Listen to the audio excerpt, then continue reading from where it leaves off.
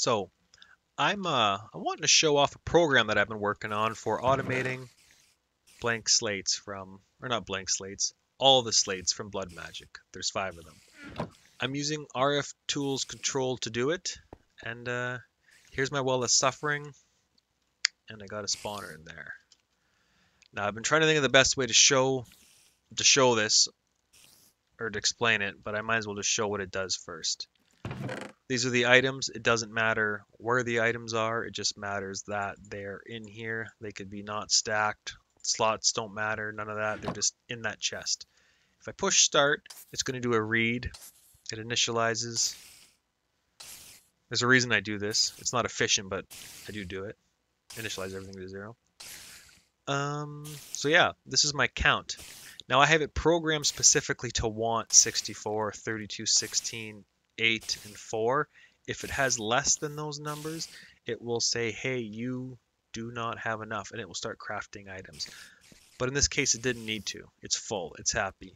If I push start again, I want to show this part.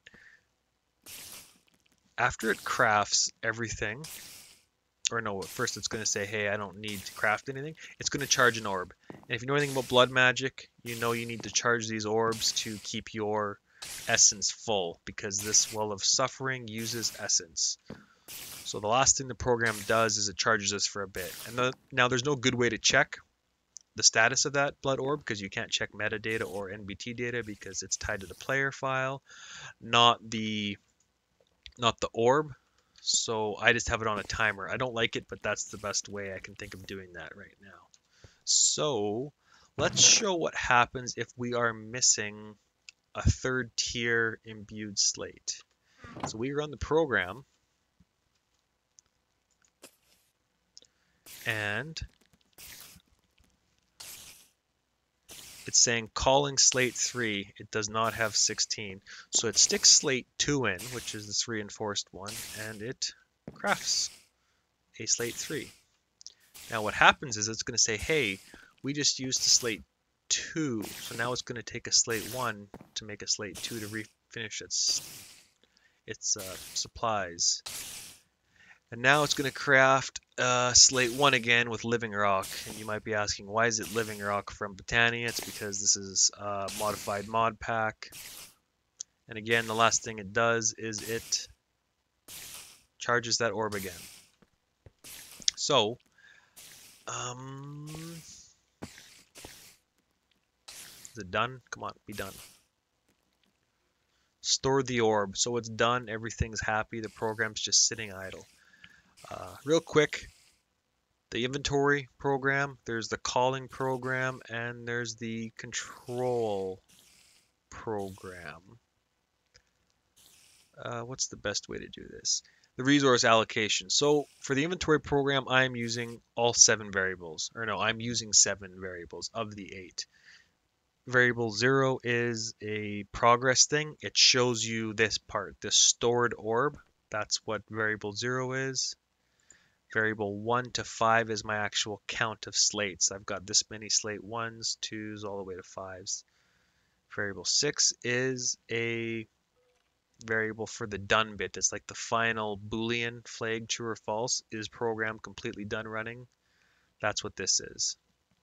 What's interesting to note is program 1, these are the variables, it's not using any item slots. If I go to program 3, which is the control program, it's using variable 0 for displaying text for progress status, but it's also using variable 1 down here for the done bit, where this program's calling it variable 6, this program's calling it variable 1. I could enable these so it would be, you know, variable 6, but I didn't, and it just complicates things because you do have to call it by the right variable. In this program it's 1, in this program it's 6, even though they're being, they're the same thing, they're just called different. I probably did a bad job of explaining that, but oh well. Um, program 3 uses uh, slots 0, 1, and 2. This slot is for the blood orb. That's all that happens. It gets pushed out of slot 0 to the blood altar, and then it gets pulled back in and stuck here. It never leaves. Program or uh, slot 1 is the going into the altar and then slot 2 is coming out of the altar. So from this iron chest over here, it will push through to the altar and it'll retrieve from the altar. And I don't want items to sit here because if anything sits here, it'll just jam up and plug.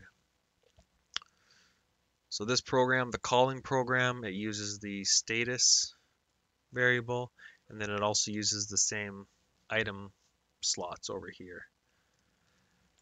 Now, I don't know too much about all this processor stuff from RF tools, control. This does things. Um, I don't know what processor you need. I made the biggest one. I made the best advanced network card. I made a RAM chip, which gives you these. If you take it out, you got no variables. And the graphics card's not needed. It's uh, I was playing with graphics, but you don't need it for this program. These are not graphics here. I mean, they are, but they're not. This graphics card has nothing to do with these. These are set by screen modules. You will link these cards to this processor, and then you can stick them in this screen, and you can say call a signal. So the start button will call start sequence. It will call the abort, which doesn't do anything because I haven't made it do anything. And then here's my status, variable 0, my slate 1, variable 1, all the way to slate 5, variable 5, and the done bit, which is variable 6. So, what now? Oh, there is um, three nodes that are important for my Blood Magic network, which is how this processor talks over the advanced network to the, the nodes. It's over the Blood Magic channel, which can be named anything. I named it that. Uh, nodes. This one's slates. I have one in here called mobs, and it basically controls the spawner and then the uh, the altar. Redstone signal disables this thing. And then the third node is altar. It um, gets a level from the blood altar. Is it full? Is it almost full? Is it low? Yada, yada, yada. Like right now, 12, a, redstone signal of 12 is saying you are completely full. And the other thing this altar does is it it's actually what interacts with putting items into the altar and pulling items out of the altar. That's what that guy does. So he's he's pretty important. So yeah, that's that's the program. Um, I don't know how long this video's been, but uh, I don't know if I should try to explain what the code does. Probably not, because it's confusing to look at. Maybe I'll try. When you push the start button, it calls BM control, but it also calls BM inventory. And I think BM inventory runs first because it's the first program card in the processor. So when you push the start button, it goes to this event signal. Now I'm not going to talk about all these opcodes, obviously. I'll just kind of a quick run through. Um, the start sequence runs. It will enable the mob, so it's going to turn off the redstone signal to the uh, mob spawner and the ritual of the Well of Suffering, so they're active. And then it's going to initialize my variables to zero. That's why every time you push the start button, all the variables go zero. The reason I did that is just because I wanted to learn how to use this loop function. And uh, there's really no reason to do that. I just do it because I'm trying to learn the mod. These are comments. I added them to, to say things. They don't have a purpose other than you can hover over them and read them. So start button's pushed. Initialize. Start the mobs and initialize the variables. So after that part runs, it stops the program. But it's also concurrently calling this signal, which is, again, the start sequence. What it'll do is it'll display some messages, but it's going to basically check the redstone. Is the redstone level, I'm saying that wrong, it's going to check the blood level in the altar using a redstone signal that I talked about earlier over there. If it's greater than 12, if it's locked, um, hmm, I don't know if I should explain this. There's locks in this program that do things. They're like checks, and then there's also other tests, but I've got a low blood check. Um, this is kind of complicated. I don't know if I should explain this. Let's talk about the point of this. BM control, it's checking constantly the level in the blood altar. If the blood altar is too low, it will not allow you to go to the inventory program to start crafting necessary slates. It will keep running in a loop until the blood altar is full. If the blood altar gets too low, it will actually lock and it'll pull all the items out and it'll keep circling until it's recharged. And it won't break out of that lock until it gets all the way back up to 12.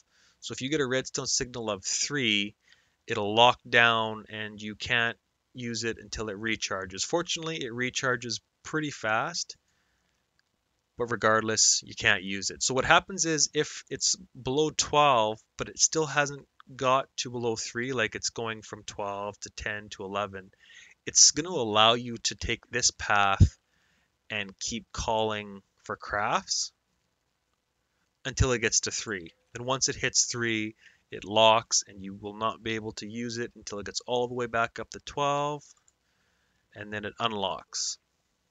I'm sure that's not very uh, clear. But let's say the blood level's good.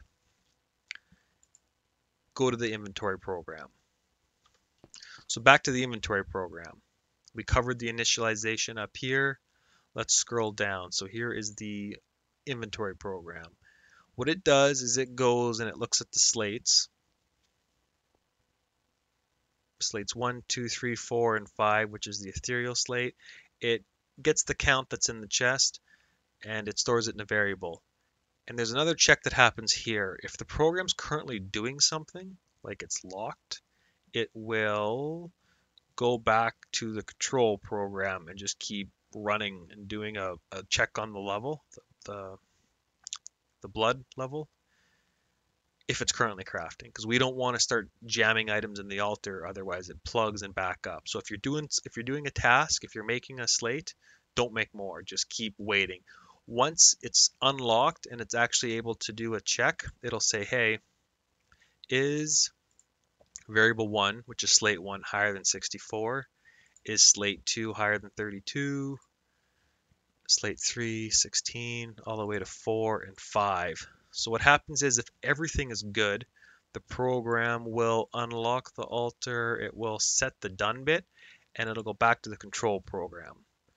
So back to the control program. Everything's good. All of our slates are where they should be. When it does this last check, it'll come through this logic, but instead of going to the inventory program, it'll say, hey, is the done bit set? If the done bit's set, then it will say, hey, charge the orb. And it sticks the orb in the altar for 300 ticks just to kind of get it charged up a bit.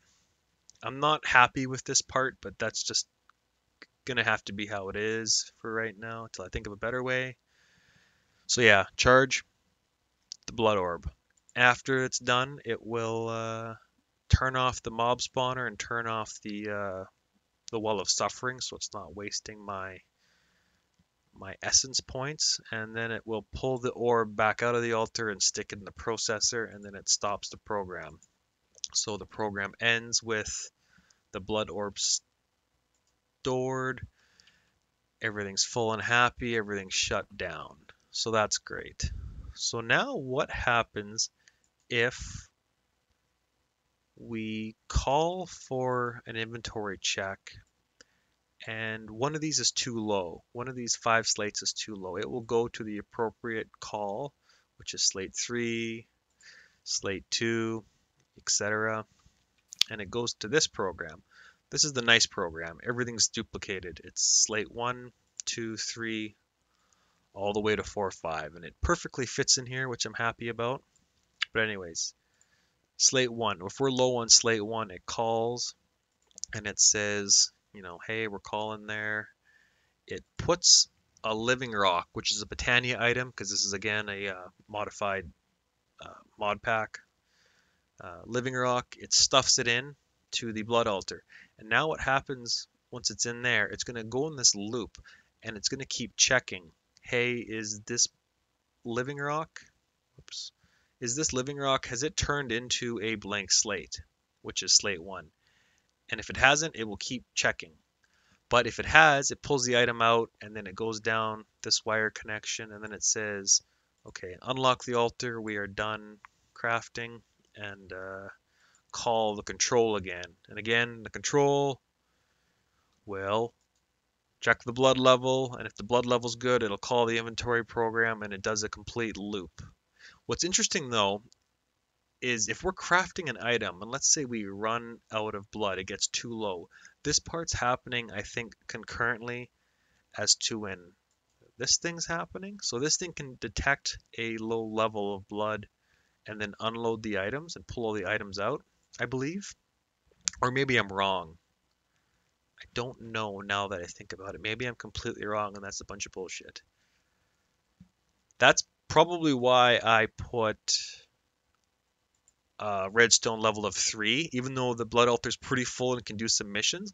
I guess I don't want to let it get too low, so maybe, hmm, now I'm not sure. Doesn't matter.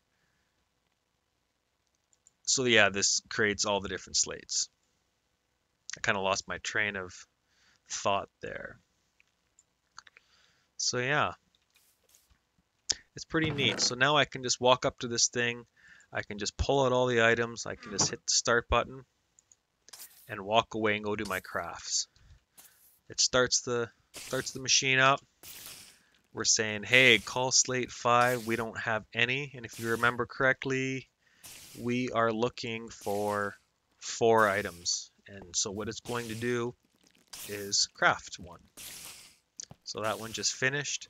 So now it's made one, but we've only got 35 now.